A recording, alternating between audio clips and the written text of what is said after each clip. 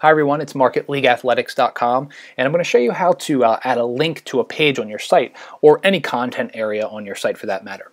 So the first thing you want to do is log into your site and once you're logged in navigate to that page where you'd like to add the link to. So here I have my blank custom page. Then I'll click the edit button to go ahead and edit this page and then I'll finally get the editing window.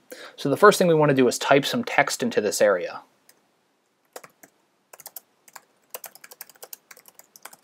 So I've typed in click here for the document.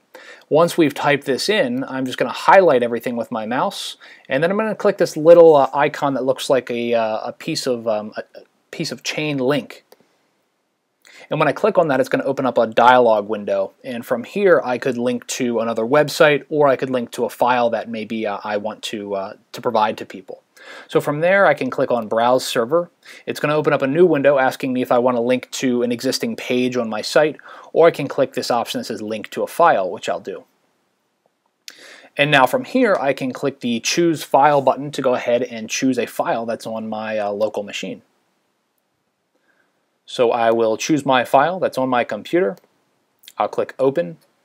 And then once I've done that, I'll click Upload and now my file is uploaded uh, into the file storage area and we'll see the direct URL to that file here. And uh, once we've done that, we'll just click OK.